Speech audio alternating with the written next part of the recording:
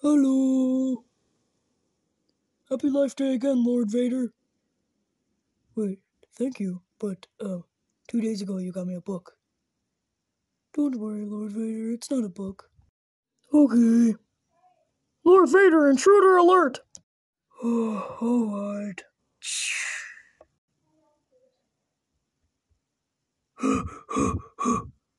Finally, now I can open my present. Oh no, the power went out!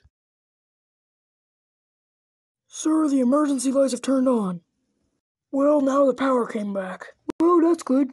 You might want to back up. Oh, sorry, sir. Okay. What was that? Uh oh. Huh? Oh, that was weird.